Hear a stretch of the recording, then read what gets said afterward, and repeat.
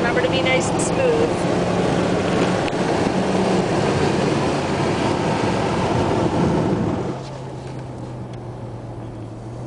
Look for the apex. Remember, you don't want to stand the throttle too hard while you've got your wheels turned because that's going to be upsetting the balance of the car. Yeah.